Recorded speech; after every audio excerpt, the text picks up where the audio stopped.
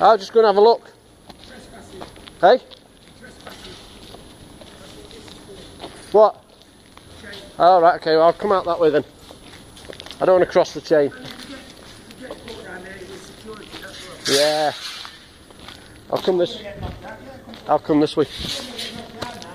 All right. Hey, Six months ago, you could have got in because there was no security. could you?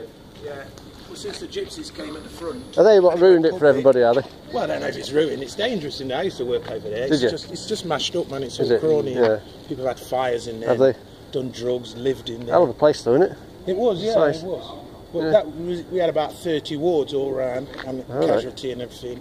And now it's just this bit. Is it? About Yeah. What do you do in here then? Uh, mostly people with uh, dementia Ah, and, right. a, and a couple of spillover wards from the Royal. So you have got wards in here then, Oh have you? yeah, yeah, We've got patients in there. Have you? This is what I'm saying. It's only this side that's working now.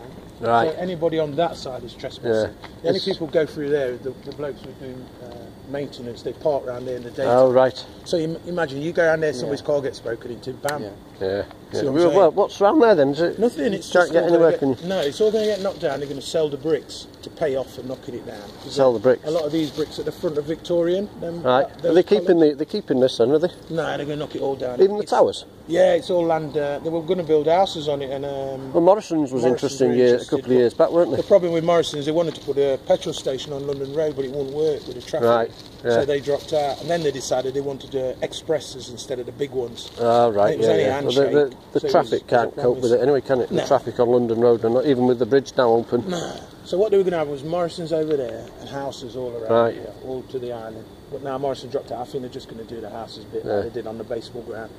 That's it. Yeah, So- yeah. There's always flattening the lot of it. Yeah, there's nothing they're going to say because they're going to have to. That, that's how they're paying for it. So I Yeah. would imagine somebody wants them two towers and the other two at the other side. And Aren't they listed though? Those towers? Well, no, because it's all coming down. So Is it? Yeah, it's all coming down. It's all coming down. The land has been sold, and I say they're going to use the bricks Right. and anything they can. Who's they sold for it to then? Do you know? No idea. The government got stepped in and, and Yeah. said, "Yeah, we'll give you a bit of a grant, but That's it. I read that in the paper. Give them, a, give them a grant to start them off, and then whoever knocks it down can make their money back off the bricks and whatever else they can sell. The bricks. Which is, but you know, them Is- Victorian bricks are worth money, you know, Mm, especially yeah, down yeah, south. yeah. Them dickheads down there uh, build a shed with That's fifty thousand and rent Yeah, old hospital bricks, eh? Yeah. Yeah. You take care, man. Oh, cheers. See you later.